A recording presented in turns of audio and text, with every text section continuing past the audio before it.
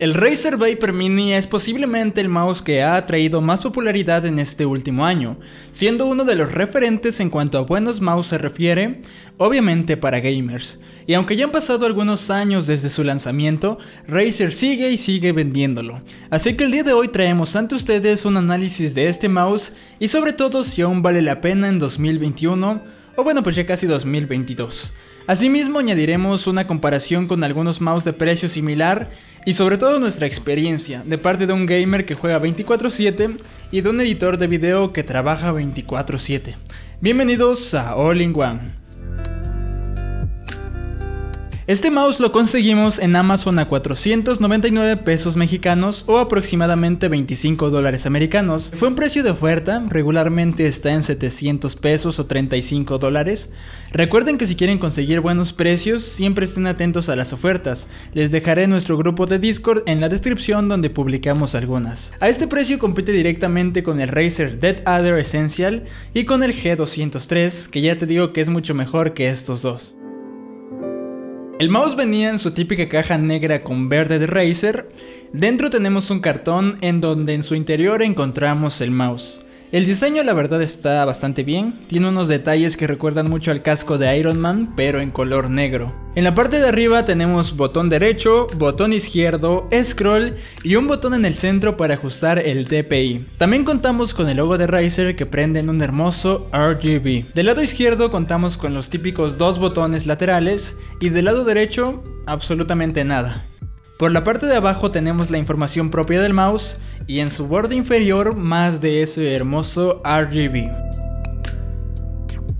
Este ratón está diseñado para jugar competitivamente, por lo tanto se ha buscado el menor peso posible, ya que tan solo pesa 61 gramos. Esto en comparación a otros mouse, por ejemplo el G203 pesa 85 gramos y el G502 pesa 114 gramos, por lo tanto sí es muy ligero, y esto lo logra por su pequeño tamaño, ideal para un agarre finger grip o solo la punta de los dedos. En su base encontramos almohadillas de teflón, que se supone generan un movimiento suave y que es de excelente calidad. Material que se usa en sartenes antiadherentes. Tenemos un cable mallado que la verdad deja mucho que desear. Los de Razer lo llaman Speed Flex, pero la verdad es que no se siente firme ni resistente. Esta malla por la que está recubierto se siente muy débil y muy propensa a dañarse. Un punto positivo es que realmente sí se siente ligero, pero yo tendré mis reservas. Su tamaño es de 118 milímetros de largo por 53 milímetros de ancho por 38 milímetros de alto, lo cual nos da un mouse bastante pequeñito. Visualmente es muy poco llamativo, aunque tenga tanto RGB, pero por su tamaño es que realmente no destaca ni llama tanto la atención. Y pese a ser tan pequeñito, se adapta bien a la mano después de algunas horas de su uso, y al momento de jugar la verdad es que no se siente en lo absoluto, parece que estás jugando sin nada en tu mano. Tenemos el software Razer Synapse, donde podemos ajustar el DPI desde 2000 hasta 8500. Asimismo podemos controlar su iluminación con respecto a su nivel de brillo y también a sus colores. Desde aquí puedes programar cada botón para la acción específica que tú le quieras dar. Y bueno, ha habido comentarios que el software puede bajar el rendimiento general de la computadora. En lo personal no nos ha dado problemas, pero si notas cambios en tu rendimiento después de instalarlo, solamente tienes que desinstalarlo e instalar una versión más reciente. Primeras impresiones, ok. Cuando llegó, este, abrimos la caja y realmente era un mouse muy pequeñito. O sea, sí se nota chiquitito. En comparación al G502 es mucho más chiquito. Inclusive es más chiquito que el Razer Data Essential y mucho más chiquito inclusive que el G203, ¿eh? Y eso que el G203 ya es chiquito de por sí. El diseño a mí me gusta, no lo considero feo.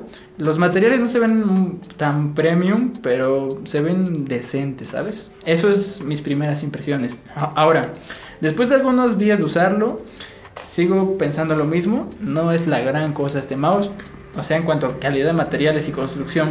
Lo que sí es la gran cosa es su sensor. Es un excelente mouse en cuanto a precisión. O sea, también es muy ligero y lo hace muy cómodo.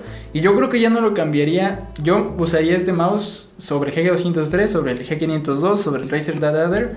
Sobre todo los que he probado, yo creo que usaría este porque es muy preciso. O sea, neta que en juegos se nota mucho que la mejora en cuanto a sensor con respecto a los otros mouse. No pienso cambiarlo. Muy buen mouse.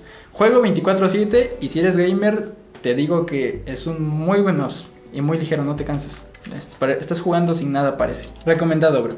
Las primeras impresiones que tengo de este mouse, al igual que Edu, es que pues sí se siente un poco barato, ¿no? O bueno, como de una calidad un poco, pues sí, mala. O sea, como que el plástico se siente un poco de juguete, se siente algo hueco el, el interior. O sea, como que no tiene un peso que realmente valga este, estos 700 pesos, estos 600 pesos que cuesta normalmente en el mercado. Realmente el cable parece un mecate, o sea, un pequeño mecate, este, pues sí, como de esos de los con los que amarras pues, tus frijoles o algo así. Entonces, para el valor realmente yo esperaba algo un poco más materialmente hablando de mejor calidad. Al momento de usarlo ya este, se sintió un poco la diferencia en cuanto a de que, ok, utilitariamente hablando tal vez no sea barato, ¿no? Porque se siente, se siente bien, o sea, a comparación de un mouse anterior que tuve al que ya es un mouse que la verdad está bastante chido y que tiene buena respuesta, buen sensor. Yo soy editor de video, entonces yo edité dos videos con este mouse y no lo sentí incómodo. Quizás eh, a mi gusto me faltó mucho más peso porque necesito yo que esté un poco más pesado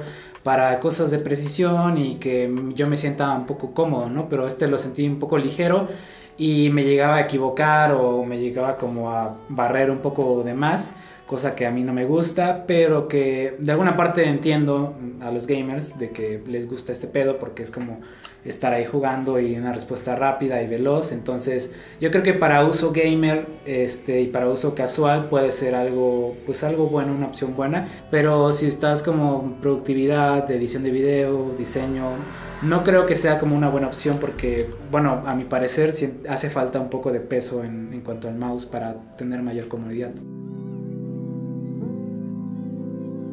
Después de algunos días de uso, podemos decir que aunque es un mouse muy ligero y pequeñito, se logra sentir una gran precisión al momento de jugar. Por la parte exterior no se nota de gran calidad ni tampoco en su sensación táctil, pero otorga una gran respuesta al momento de jugar, que realmente en comparación con otros mouse sí se logra ver esta diferencia. Creo que por un precio menor a los 35 dólares es bastante bueno, y si lo encuentras en alguna oferta, cómpralo, pero ya, es una apuesta segura.